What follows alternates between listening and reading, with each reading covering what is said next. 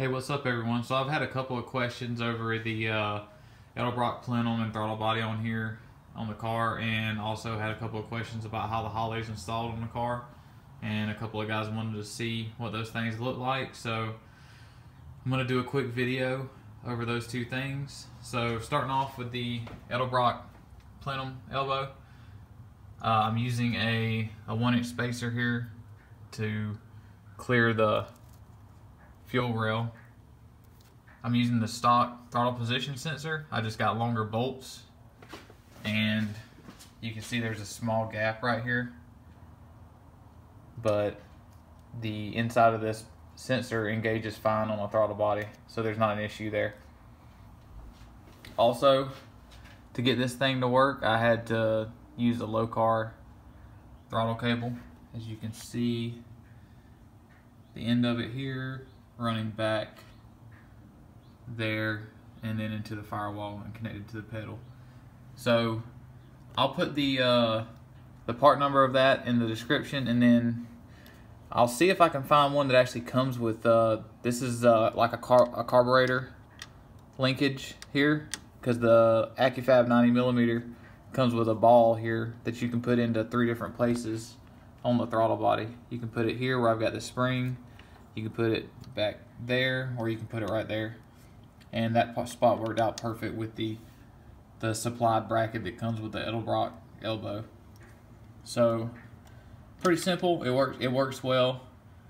Um, and that's uh, really all it takes to make this elbow work. Like I said in the previous video I'm not running a an IAC an intake air control valve and the car is, is running fine without it. Um, so no issues there all right, moving on. A couple of guys that had the questions about how the Holley is mounted in the car. So what I chose to do was mount the ECU in the glove compartment. There, as you can see, the ECU sits right there in the glove compartment. There's still room in here to put stuff, even though I don't really have a need to put much in there anymore. You can kind of see up in here it's kind of hard to get the phone in there. But there's the ECU up under the dash. You can see the top of the ECU there and the wiring bundles coming off of it. So I ran those bundles up here to the hole in the firewall that uh, where the AC uh, system used to come out at up there. And then I made a block off plate for this area right here. And my map sensor is actually supposed to be right there, but it's hanging down right here. So I'll go to the front and I'll show you guys how it comes out on the firewall.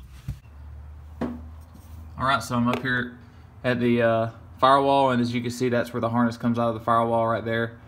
And uh, the Holley harness is plug and play, so you have uh, the main harness that comes out. You have a uh, a wire, the dark wire right here for the wide. That's the wideband wideband wire, and then you've got the main harness that comes out, and it plugs into your coil harness and your injector harness, which is kind of tucked down back there out of the way.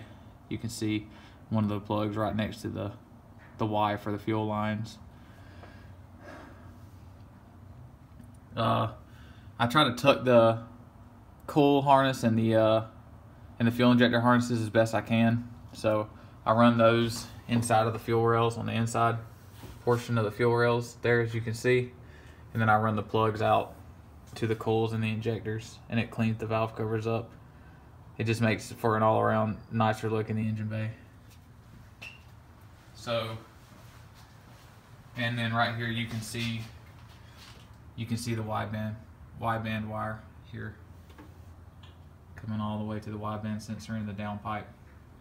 So that's it for the Holley in the engine bay. And then I'm also running the Holley digital dash. It's a seven inch touchscreen.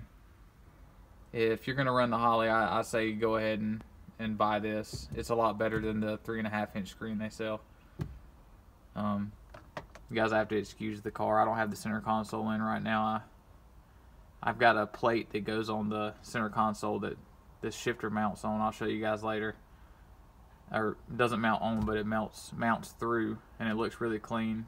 But I got to get a longer shift cable because the shift cable is too short to move the shifter back far enough. So I'm waiting on that. And uh, also, as you can see, the car is up on jack stands already. and the transmission is out of it. Transmission is fine. Um, the issue is is that the torque converter is too tight for the car. So I'm sending it back off to Circle D. They're gonna they're gonna take a look at it. They're gonna take a look at the data log I took, and they're gonna tune the converter to the car. And hopefully, when I get it back, it's gonna be spot on. So that's all I've got for this video. Um, I'm working on more content for you guys, so just be patient, and uh, I'll talk to y'all later.